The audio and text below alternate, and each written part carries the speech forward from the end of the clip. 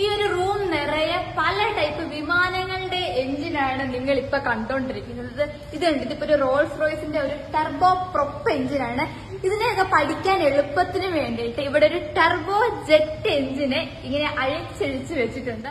ഏറ്റവും ഫ്രണ്ടിലാണെന്നുണ്ടെങ്കിൽ നമ്മുടെ എയർ ഇൻടേക്ക് ഡക്ട് അതിനുശേഷം എയർ ഇൻടേക്കിന്റെ കേസിങ് അതിന് പുറകിലായിട്ട് ഈ കാണുന്നുണ്ട് നമ്മുടെ കംപ്രസർ റോട്ടർ അസംബ്ലി ആണ്. അതിനും പുറകിലായിട്ട് വരുവാണെന്നുണ്ടെങ്കിൽ ഇതാണ് നമ്മുടെ ടർബൈനിന്റെ ഷാഫ്റ്റ് വരുന്നത്. അതിനുശേഷം ടർബൈൻ അസംബ്ലി. അതിനുശേഷം ഇവിടെയാണ് നമ്മുടെ എയർ ഡെലിവറി കേസിങ്. അതിന് പുറകിലായിട്ടുള്ളതാണ് ഇതൊക്കെയാണ് ഫ്ലെയിം ട്യൂബ്സ് എന്ന് പറയുന്നത്.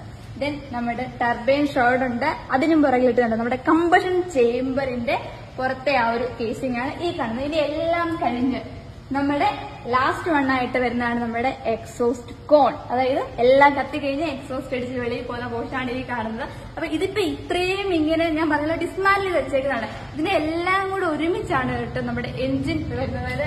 ഏകദേശം പൂർത്തീകരിച്ചു കഴിഞ്ഞാൽ ഇങ്ങനെ ഒരു എഞ്ചിനായിട്ടായിരിക്കും ഇത് മാറുന്നത്. ഓക്കെ